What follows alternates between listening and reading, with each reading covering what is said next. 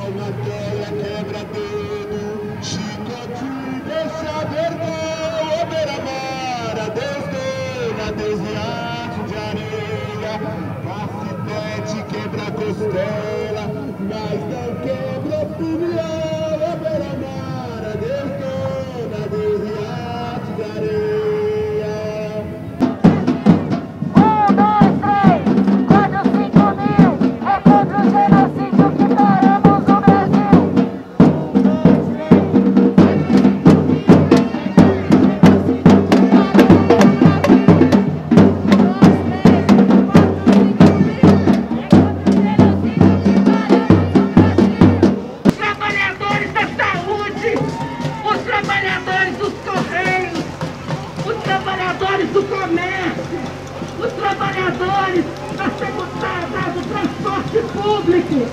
Porque 520 mil vítimas não podem ser normalizadas.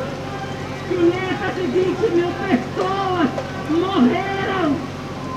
523.809 pessoas porque o Bolsonaro não comprou as vacinas, porque ele queria ganhar um dólar em cima das vacinas. É porque o presidente é pior que o vírus.